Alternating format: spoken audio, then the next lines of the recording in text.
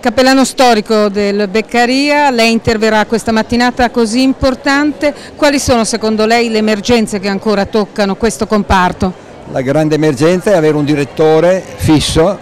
non un giorno alla settimana ma sei giorni alla settimana, perché se non c'è un perno intorno al quale eh, gira tutta la progettualità e le tante energie che qui ci sono, finisce che un po' tutto si sfalda e siamo a a, eventi come quelli del passato dove a un certo punto i ragazzi erano abbandonati a se stessi e finivano per, per diventare gestori dell'istituto. Quindi questo istituto è ripartito bene quando è arrivata la dottoressa Boccolieri,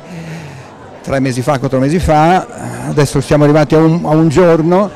bisognerà che ci che tutti insieme facciamo un po' il conto su quello che c'è e con la direttrice bravissima che è indubbiamente molto, molto, molto efficace, molto efficiente, è arrivata qui, ha, ha sedato le varie, le varie turbulenze che c'erano, quindi accendendo speranze. Adesso qui bisogna riuscire a, a, rilanciare eh, la speranza per questo posto che è un posto di, di detenzione ovviamente, ma qui noi abbiamo soltanto ragazzi e ragazze appartenenti a famiglie povere o poverissime quindi se anche questo posto che potrebbe essere di rilancio diventa povero e poverissimo, beh, siamo,